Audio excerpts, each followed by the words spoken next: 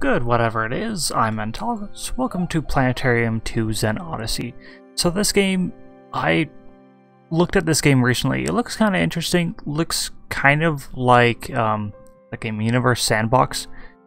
It's a fun game. I like I like Universe Sandbox, so I thought I'd give this one a try. I reached out to the developer, and he was kind enough to send me a key. So here we are. I thought I'd follow this moon around. We are looking at Titan right now, around Saturn. And let's see what else we can find too. Zoom out a little bit. And zoom in. Oh good, we do have several of the moons. And we're not going to have all the moons just because there's so many of them. But it's good to see there are in fact several. And we'll jump over to Earth, Moon. It's it's fun to see these. I've been playing around with this a little bit, so uh, if I recall, I hit this button, and then I can choose a target, and I can just drop a black hole right next to Earth. Let's go ahead and shut off the labels, and shut off my target as well. So the Earth duplicated, it looks like. I don't think that was on purpose. I do love those effects, they look really cool. Kind of interesting too, and it's kind of interesting that it's not fully sucking in the planet. Like, I would love to actually have just seen Earth be destroyed. You, or you're just sitting there. Can't have that. Not that one, this one. Go ahead and press every incorrect button I can, apparently. Huh. Rank, expand. Can't do anything to this black hole. I can, however, remove it. And we can do that to other planets as well. Remember my controls. So, here's the sun. I found it, in case you guys lost it. Uh, I, I think it's kind of cool, like some of the effects they have pretty awesome. I'd love to see these moving a little bit.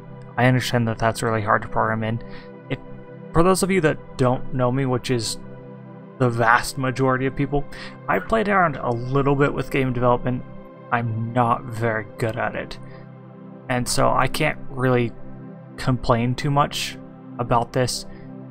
It can change whether or not it's my style, but if I can't program better, I don't feel like I can properly complain. We'll just take a look here at Mercury. I like it. Lots and lots of craters. Sounds pretty accurate to me. But one of the things I was realizing is that we can go in right here.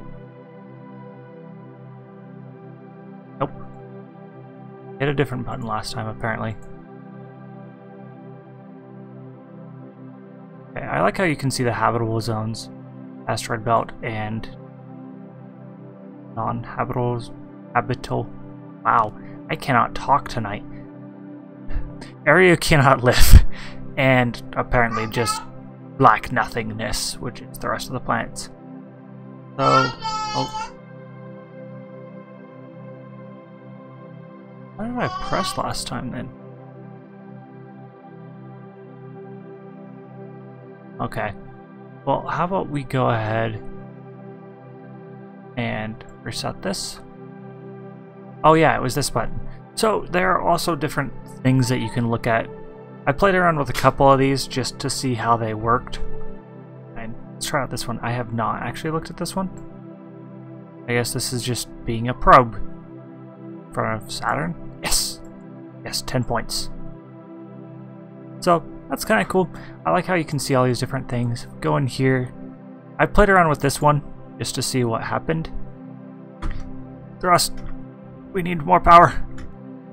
Anyways, it's kind of fun to be able to shoot around the moon and not have to worry about, oh dear, not have to worry about how much of a terrible pilot I am, for example, um, which apparently is actually still a huge issue.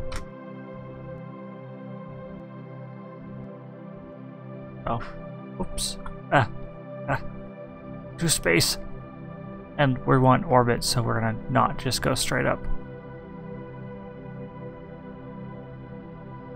Also, I like how there's the planet Gaia apparently in the distance. Like I don't I don't know what that's supposed to be. It looks cool. I like it. Let's let's go there. Changing direction. Hmm. He's fighting me, Captain. ETA six months. Four days, 32 hours and 27 minutes.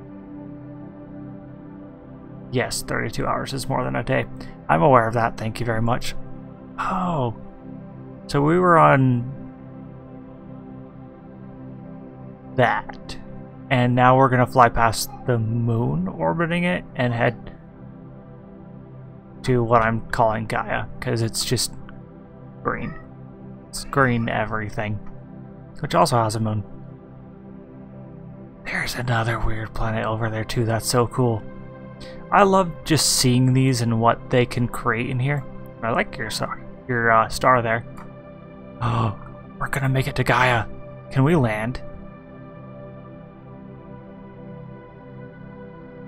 And if I cut thrusters, we're still flying. Okay, good.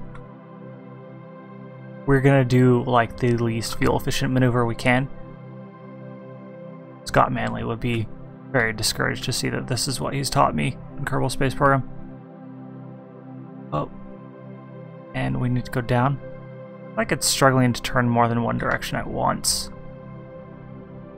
Other way. Yes.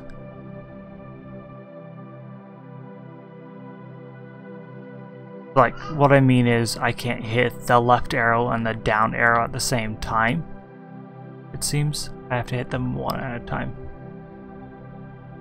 I don't think I'm properly in orbit, so I don't think I can really do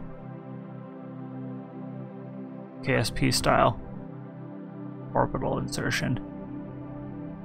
By KSP style, I mean actually fairly realistic. Like, of course not perfectly realistic. I do seem to be actually in a kind of orbit.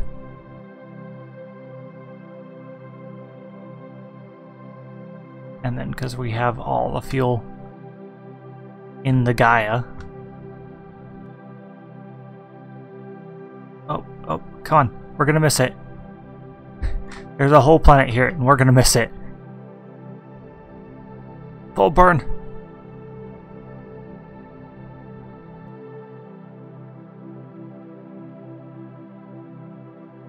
I don't think it's gonna let me land. Yep, it, it's leaving me behind. Wait, come back! No. No, no, no, no, no. Also, I like how that lake is moving and expanding and shrinking at the same time. Okay, we're just gonna ram it.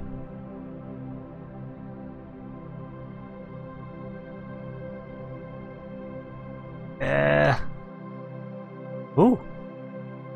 Okay, well, we've landed. Just change our orbit real quick. Anyways, let's try a different one. Um, I'm thinking we're going to try the space shuttle. And I'm guessing it's going to work on very much the same principle. Hold spacebar. Yep. And we'll start rolling. And wow, we get to space fast. Good thing space is only like 10 feet away. And I better not stand up. Can we detach our boosters? we are go for more altitude. Although I'm not... Is it? I think it's still called... Oh, they detach automatically. So cool. Okay. And now we're just going to cruise out into the solar system. Let's go to Mars. That's what the space shuttle was designed to do, right? Not really. Not even slightly.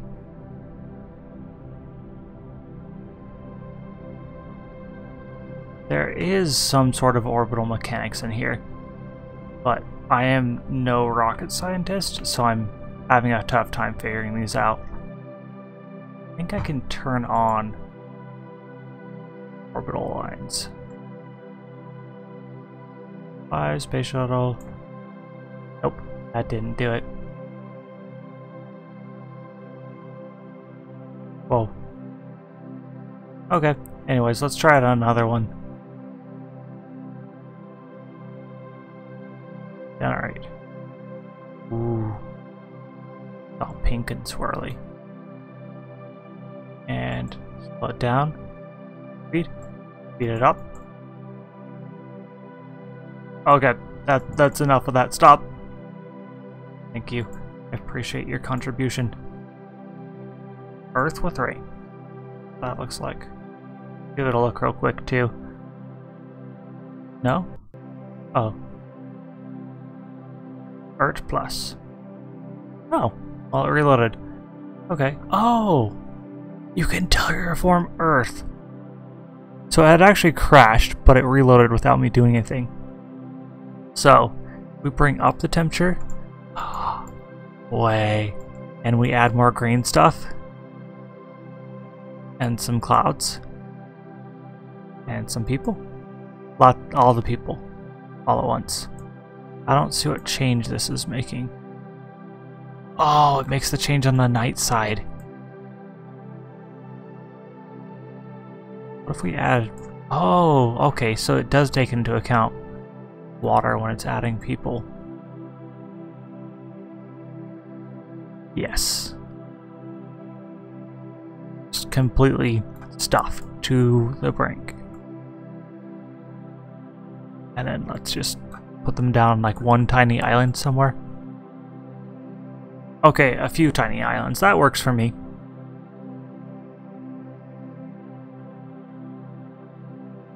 Cool. Oh, generate is a button. I didn't realize that for some reason. I assumed that was just some sort of logo, I guess. Cool, so it's not exactly Earth. But I'm okay with it. Let's decrease the vegetation. If we bring this up to max, it doesn't overflow. And there's still less green air. Oh, because it has to do with temperature. That makes so much sense. So if we freeze it over, we can add all the green we want and nothing happens. And if we warm it up, it's just going to be a desert. But I can still have water. So here we have like Mars. And right, turn down the temperature. And now we have Earth with people. Okay. And anything else cool I want to look at?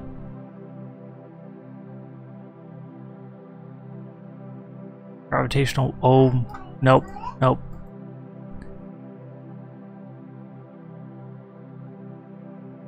Okay. Accretion disk around a black hole? Or is it for other things too? Because this doesn't look like a black hole to me. And maybe it's just my lack of space knowledge. Like, I try to study a lot of this, but I'm not very good at it. I feel like it's kind of shrinking too, but that's probably just my eyes playing a trick on myself. Sped it up. Nope. Okay. And what else?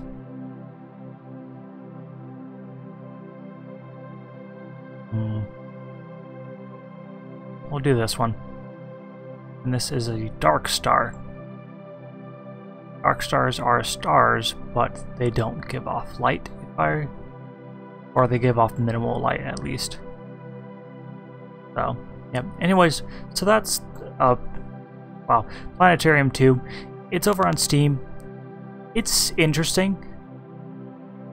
I'm not honestly sure how much game I would say this has, but it's kind of fun to look around and play with things like, oh, here, just drop in a black hole on top of the dark star. That was really smart of me. And then drop a soccer ball next to it. What would happen? Clearly, there are things happening. Oh, I dropped it right next to it, apparently. Ooh, they do collide. I swear I played with that earlier and they didn't ever actually collide.